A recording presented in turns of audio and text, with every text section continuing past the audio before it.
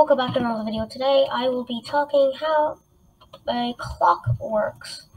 Uh, so a clock basically runs on mechanical energy. Now this energy, mechanical energy, is basically, I guess you could call, if you were to simplify it into one word, gears.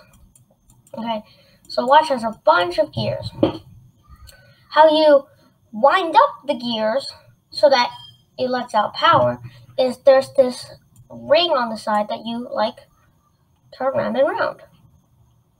And on a watch, how to set the time, you pull it out and you're able to set the time.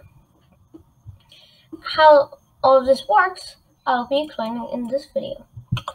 So, when you pull, push this in to wind it up, it gets locked in, so you don't have to keep pushing on it.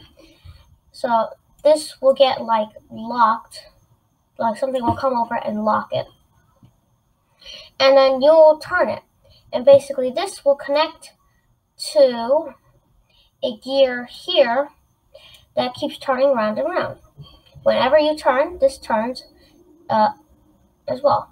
And it saves up all that energy that you turn in there. Then this gear slowly lets out the power into this smaller gear. Well, now it doesn't look that smaller. Like a smaller gear. And then that smaller gear puts this into minutes over here. And this is the hour hand. It spins once an hour. This spins once a minute. And this is basically what it looks like.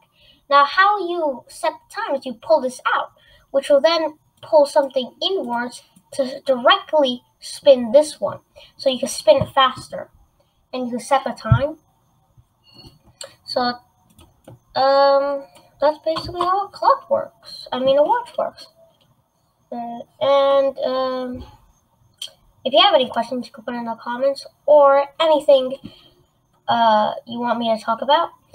And it'd be nice if you subscribed. I mean, it's free and you can always unsubscribe, so uh, I guess with that, goodbye.